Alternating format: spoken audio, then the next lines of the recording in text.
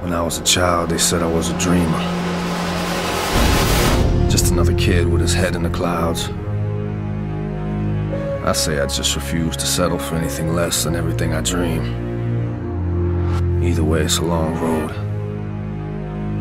The world turns its back on you. And you find yourself treading through the wilderness of your mind, just trying to make sense of all the passions you've stirred up along the way.